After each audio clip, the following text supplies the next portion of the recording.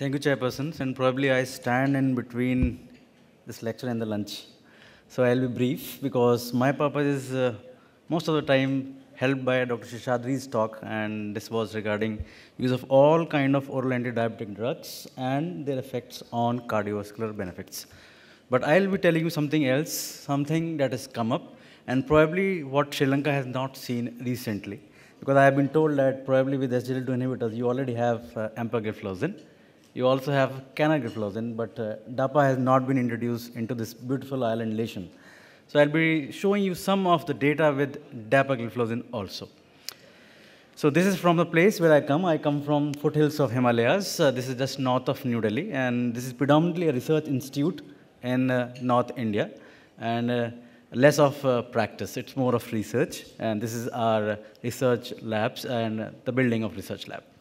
So first of all, I would like to just uh, tell you that why we are so keen in discussing about cardiovascular protection. And uh, this is because of this graph.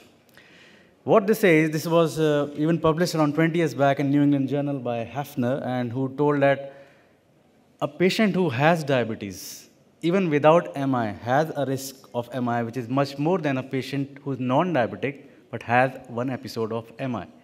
So this cardiovascular risk is a continuum in type 2 diabetes. And what they say is this risk of cardiovascular events starts even before you diagnose diabetes. And this comes from a common soil hypothesis, and that hypothesis is about atherosclerosis. But there is something more than that, which I'll be telling in future slides. And this is again from the Haffner's data, who told that if you are having a diabetes of around 5 to 8 years duration, that means without an MI, your risk of having a cardiovascular event is almost equal to a non-diabetic person who already has an MI. So definitely, our patients with diabetes are at risk of cardiovascular events, predominantly myocardial infarction and stroke also. So this is what I need to tell you about the cardiovascular thing. But what they say is, sometimes most of these patients, you might be seeing n number of patients in your clinic, they might not come with heart failure. But does that mean that they do not have any cardiovascular risk or they do not likely to have land into heart failure after some time? The answer is no.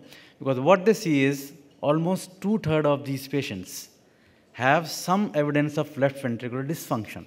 And this is more of a subclinical left ventricular dysfunction when the patient doesn't tell you anything. It's you, you have to do something for these patients. And most of the time, it is diastolic dysfunction. As you can see from this graph, almost 41% of patients had diastolic dysfunction, and 27% of patients had systolic dysfunction also.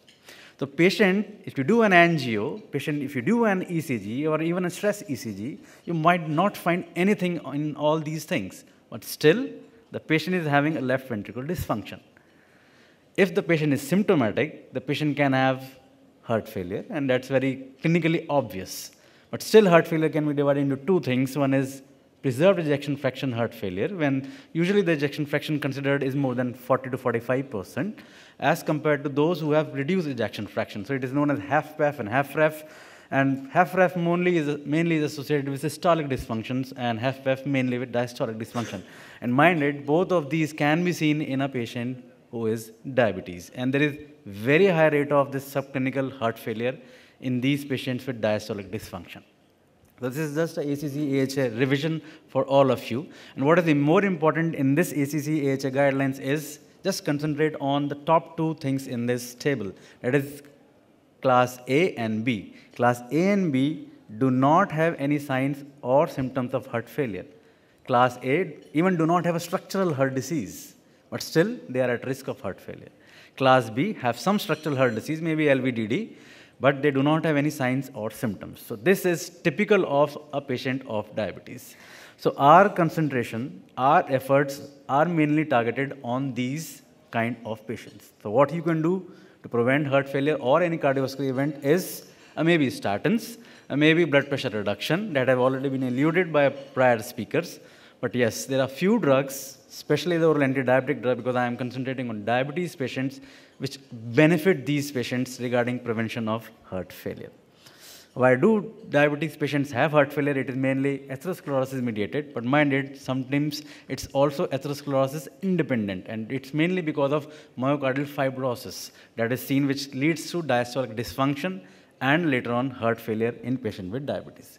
So we have n number of evidences from large clinical trials that have been quoted almost n number of times. And if you just some see this summary of all the large trials, microvascular outcomes, definitely intensive glycemic control is quite useful. Macrovascular outcomes, in short term, they do not reap benefits of intensive glycemic control. But you just follow these patients. Even in almost all of these trials, maybe UKPDS and ACCORD, and even in advance in VADT, if you follow these patients for more than 10 years with intensive glycemic control, you're likely to reap macrovascular benefits also. And even you can see there is cardiovascular mortality reduction with intensive glycemic control in this long-term follow-up of UKPDS. So overall, glycemic control does matter both for microvascular as well as macrovascular outcomes. How you can do that? So recently, after the FDA mandate in 2008, it's mandatory for all the oral antidiabetic drug to prove that they are cardiovascular safe. And for that, they have asked to design a cardiovascular outcome trials. If not a superiority, they should be able to show non-inferiority. That means it is not causing any cardiovascular harm when you're adding this class of oral antidiabetic drug to your patients. So this is just a summary of the trials with DPP-4 inhibitors. So this is the first trial, it is SAVOR trial with saxagliptin, which showed that it is non-inferior as compared to placebo. With ALLO, the same results. And with once week, the sitagliptin, again, this shows the same results, that they are non-inferior. Coming on to injectable ones, that is GLP-1 analogs, go with ELIXA trial with lixisenatide or with once weekly exenatide with EXSCEL trial, both of these showed that these class of GLP-1 RAs are non-inferior. That means they are not causing harm to your patients, though they might not cause benefits regarding three-point major adverse cardiovascular event, except the LEADER trial, which showed there was significant around 13% reduction in risk of MACE once you add LIRA in this patient. And that has been already covered by Dr. Seshadri. Coming on to my concern and my topic is mainly about the cardiovascular risk reduction. So with SGLT2 inhibitors, now two class two agents have already been there in this island nation. One is EMPA and canagliflozin, and these are trials, EMPA-REG and CANVAS. Both of these have showed a good cardiovascular outcomes, especially the three-point MACE reduction. You can see with 14% reduction in MACE with the canagliflozin, and same with empagliflozin also. Now, sometimes people ask, is this a class effect? Probably yes. But is this related to some kind of ethnicity? Are these SGLT2 inhibitors work same in Caucasians as compared to South Asians? So we just uh, wrote a review and collected all of the literature regarding SGLT2 inhibitors published papers. And we found out that probably empagliflozin was working better regarding three-point MACE reductions in Asian cohort. If you can just see this Asian cohort in this slide. So this was a paper that we published in Diabetes Therapy. This was a review. But now coming, this is the story overall regarding DP4 in, in inhibitors and GLP-1 RAs and SGLT2s, which showed that DAP4 inhibitors, the results are consistent that their effect is non-inferior. GLP-1 agonist, liraglutide, definitely beneficial. SGLT2 inhibitors, yes, EMPA and CANA both have been shown to have benefits. But now coming on to the third agent in this class that will be recently seen in this island nation, and we have the DECLARE trial, which provide further insights into the role of DAPA in patients of diabetes with heart failure. So I'll be discussing in few slides about the DECLARE and uh, the India and probably some centers from maybe Sri Lanka were also the part of DECLARE and our institute was also the part of the DECLARE trial. This is the defining cardiovascular outcome trial in type 2 diabetes. So this is just a mandate from FDA and they designed the trial as per the requirements of FDA. So they included 17,000 patients who had an A1C of more than 6.5. They had age of more than 55 years. And importantly, what is important is around 40% of these patients had cardiovascular risk factors. And they were one ratio one double blind design. They were put into either the DAPA arm or the placebo arm. And what they tried to measure was a composite cardiovascular safety endpoint, which was a composite of cardiovascular death, a non-fatal MI, and a non-fatal stroke. They also studied the composite of hospitalization for heart failure or CV death. Importantly, the secondary endpoints were also discussed regarding the renal endpoints, which was a reduction in EGFR or a ESRD or a cardiovascular death. So this is important that they had both class of patients. So this was the trial that was designed to study those patients in which these drugs were efficacious regarding primary prevention and in few class of patients this was working for secondary prevention because they already had some kind of established cardiovascular disease. But you need to understand what, who are those patients in which this class of drugs is given for primary prevention. So these are patients who have some risk factors like they had dyslipidemia, they had hypertension, they were smokers. In another class, it was used as secondary prevention those who already had some established cardiovascular disease, like an MI. They already had some kind of intervention like a coronary artery intervention or a CABG, or in spite of having none of these, a 50% coronary artery stenosis. They might also have been, a stroke, and importantly, some of them might not have either ischemic heart disease or CVA, but had a peripheral arterial disease, which was defined by ABI, that is ankle brachial index less than 0.9. So importantly, these both of these groups had almost equal number of patients who had cardiovascular risk factors, and importantly, around 40% of these in patients in this trial had established cardiovascular disease and around 32% already had coronary artery disease, 6% had peripheral vascular disease, and 7% already had a stroke. The last thing is very important, that is the history of heart failure, because around 10% of patients already had an heart failure, and on top of that, this drug was given to these patients. So this is the data and the results about the dapagliflozin, and it showed non-inferiority for a three-point major adverse cardiovascular event. That means it was efficacious in reducing these three-point MACE by 7%, but the hazard ratio was crossing the 1. Therefore, it was found to be non-inferior. Going on to the individual points of three-point MACE regarding the composite of hospitalization for heart failure and CV death, these drugs were very well efficacious and they reduce the hospitalization for heart failure by 17 percent. They also reduced the cardiovascular death, though it was not found to be superior as compared to placebo. The stressing upon the hospitalization for heart failure, because this is very common scenario, even in our emergencies, we see day in and day out patients with diabetes coming in to our emergencies with heart failure. So this is the composite of MACE and the individual components. Regarding MACE, definitely it was found to be non-inferior, you can see from this forest plot, almost all of these points were on either side of 1, crossing the left and right, favoring DAPA as well as placebo. Regarding the side effects or the adverse event, because they need to be discussed, because it has been known that these drugs are associated with genital mycotic infections and also DKA in a patient of type 1, but also in those patients who have long-standing type 2 diabetes who are on insulin, they are also at risk of DKA.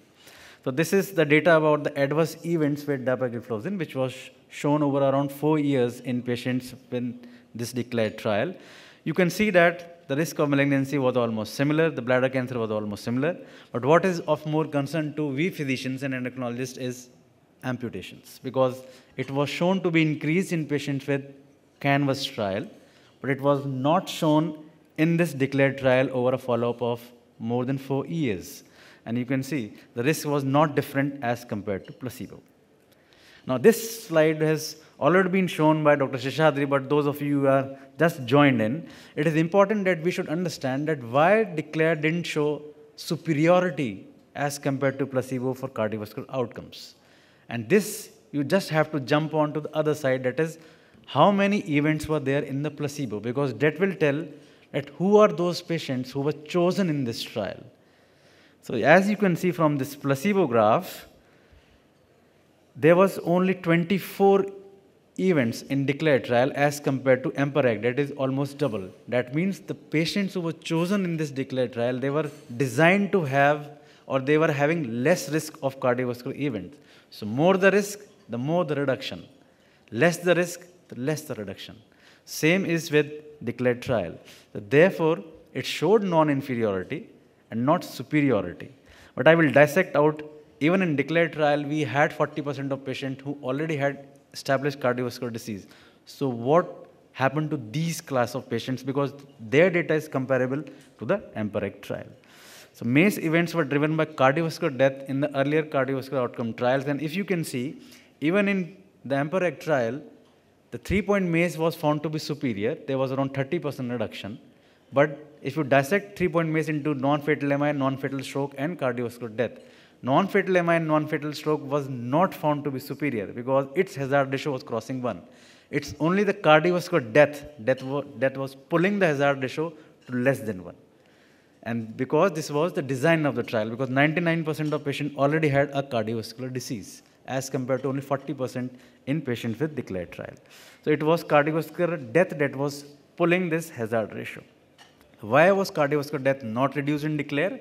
And you can see that because it's very obvious that those patients who had or who have a CKD, they are at risk of cardiovascular death, not only from ischemic deaths, but also from hospitalization for heart failure. So if I dissect out a DECLARE population as compared to CANVAS or EMPA, these patients were more healthier regarding the renal endpoints also.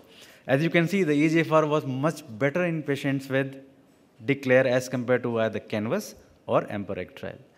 So this is the impact of SGLT2 inhibitors overall on cardiovascular death.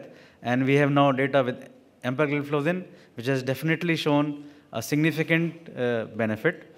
But overall, across all these spectrums, if you compare the CANVAS, the DECLARE, and the EMPA, the hazard ratio is less than 1. So all of these SGLT2 inhibitors are protective to prevent your patients landing into heart failure. And this is said to be a class effect of these drugs, and that holds true for dapagliflozin also. Now, importantly, DECLARE had ASCVD population is half the baseline risk that I have already shown. That in EMPA-REG trial in the placebo, the events per thousand patient years was 20. In CANVAS, it was 16, and in DECLARE, it was 11. So in spite of having a low risk population, still it can prevent heart failure. So this is the outcome of dapagliflozin trial. So, so did DECLARE also include sicker patients. So I have already alluded that 40% of patients were definitely sicker. And what were the results? Were they comparable with empagliflozin? The answer is yes. So this again shows a class effect. So if you choose a patient who had prior cardiovascular disease, you can add any of these SGLT2 inhibitors and even dapagliflozin, which has shown 16% reduced risk of three-point MACE. And the number need to treat is 39, which is comparable to any of the prior existing SGLT2 inhibitors. And this is very important. This DECLARE also had patients who had reduced ejection fraction. He also had patients who had preserved ejection fraction. And this is again a strength of this trial because if you dissect out the results of dapagliflozin in patients who had prior hospitalization for heart failure, the number need to treat to prevent another episode of hospitalization for heart failure or a patient who had prior ASCVD prevent the first episode of hospitalization for heart failure or death was only 11. And this is as good as any of the existing, any agent, maybe ACE inhibitors, ARBs, statins, or any other agent. So preventing hospitalization for heart failure, the number need to treat with DAPA is only 18. So you treat 18 patients and you can prevent one hospitalization for heart failure. You treat 19 patients with dapagliflozin, you can prevent one cardiovascular death. And definitely it is a boon. So overall, there is around 38 to 41% reduction in all the cardiovascular outcomes.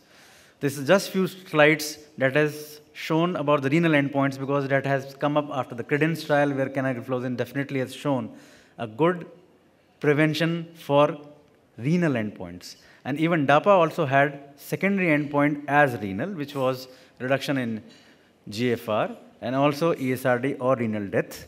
And it showed a good class of patients who had a non-albuminuric renal impairment. They also had few patients who had albuminuria without any renal impairment. Because as Dr. Seshadri was also telling, you can find these class of patients because almost one third of these patients would have albuminuria without any impairment in GFR.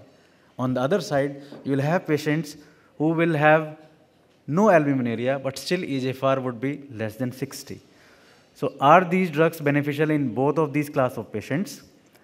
DECLARE has shown that definitely there was around 24% reduction in the renal endpoints in either of the class of drug, whether used in patients who have albuminuria, whether used in patients who do not have albuminuria but still have reduced EGFR. So this is a solace, again a kind of class effect. This is a composite renal outcome which I have shown and divided. There was decrease in the renal death, there was decrease in the renal disease, as you can see, and there was a substantial decrease in pro progression to renal disease if you add dapagliflozin in these patients. Importantly, they also prevent your patients from progressing from micro to macro or they also lead to regression from micro to normal albuminuria. And this was shown. You can see from this forest plot again, if you add dapagliflozin in your patient of diabetes, there are around 46% chances of your patients turning from micro to normal albuminuria. So this albuminuria is very important. This is uh, not a simple thing. Because we know that ACE inhibitors and ARBs also reduce albuminuria. But this class of drug had the effect on top of ACE and ARBs because most of these patients in DECLARE trial were already on ACE and ARBs. So they prevent from micro to macro, but also regression from macro to micro, micro to normal albuminuria. This is a very good effect. The deterioration of albumin category was more in patients who were on placebo as compared to dapagliflozin. This was a beautiful concept that was brought by Dr. Verma, and this was published in Lancet, and he has philosophically told that these class of drugs works on pumps, that is the heart, the pipes, that is the vessels, and the filter, that is the kidney. So do all the SGLT2 inhibitors cover it all? Probably yes. Regarding MACE, it has been shown regarding hospitalization for heart failure, it has been shown in all class of patients, whether they have established cardiovascular disease, whether they don't have, it reduces hospitalization for heart failure. Regarding renal endpoints, patient might not have an MI, patient might not have a coronary artery disease, but still these class of drugs would prevent the renal outcomes. So this is the data from all of these trials and therefore after FDA mandate now we have good knowledge about this oral anti-diabetic drug because earlier our aim was just to bring down HbA1c, but now we want more from these drugs. So therefore, these drugs are definitely having more benefits. So initially, if you go back maybe around six, eight years back, when you already used to see any kind of guidelines, maybe ADA-EASD guidelines or even the ACE, ACE guidelines, everybody used to say after metformin, you can choose any class of these drugs. But now what they say is, you have to now again sit with the patient and see whether this patient is having an established cardiovascular disease or CKD. So if the patient is having already an established cardiovascular disease, you need to choose between two drugs. It cannot be pioglitazone. It cannot be any other class of drug, maybe a DP4 inhibitor, which is not found to be superior. It has to be either a GLP-1 or an SGLT2 that is from the guidelines. If heart failure or CKD predominates in your patient after metformin failure, when the patient do not reduce the HbA1c, it has to be SGLT2 inhibitors because they have shown benefit regarding heart failure and CKD. So this is all from the guidelines that you can take home. This is ASCVD predominates, again GLP-1 or SGLT2, it depends upon your wisdom. SGLT2 also have proven CV benefits. And if heart failure or CKD predominates, it has to be an SGLT2 inhibitors, both if EGFR is low or if patient already had history of heart failure. So if the patient has neither of these, neither ASCVD or CKD, then it's your choice. You can choose any of these, depends upon what benefits you require from the drug. So this is ACC 2018 consensus, and what they say, if you have established cardiovascular disease, guideline-directed medical therapy, not, in addition to antiplatelets, blood pressure reduction, the glucose-lowering therapy should also focus on reducing the cardiovascular endpoints. It can be SGLT2 inhibitors or it can be GLP-1 agonist. They, ACC AHA also says that SGLT2 inhibitors are recommended for primary prevention. Unlike what Dr. Seshadri was saying, so this is about pumps, pipes, and filters. Number needed to treat to prevent any adverse cardiovascular event is 39 in a patient who already had a prior MI, and it is 53 over a period of four years to prevent heart failure. So this is the summary that you can take home is that guidelines have definitely evolved. Now we have some evidence and we can pick and choose patients who would require a GLP-1 analogs or SGLT2 inhibitors therapy. Tighter glycemic control, earlier results were not shown to be beneficial, but now they say over long term, they also have microvascular benefits. And cardiovascular and renal burden continues to be high, and you can do good to your patients by being wiser in choosing newer class of agents. And dapagliflozin definitely has shown beneficial effects over MACE, heart failure, as well as renal endpoints. Thanks for patient listening.